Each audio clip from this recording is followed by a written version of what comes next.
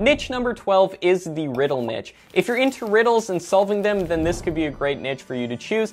And a great example channel in this niche is the channel 7 Second Riddles. Over 4 million subscribers, and they get a crazy 8.7 million views a month on their channel. And they just do videos about different riddles. And as you can see, they play an animation in the backgrounds of the videos. You can hire someone from Fiverr or Upwork to do the animations for you if you don't know how to animate yourself, or you can use very simple programs like Animaker or Powtoon. And you can look up riddles online, find the riddles, rewrite them in your own way, and make riddle videos this way.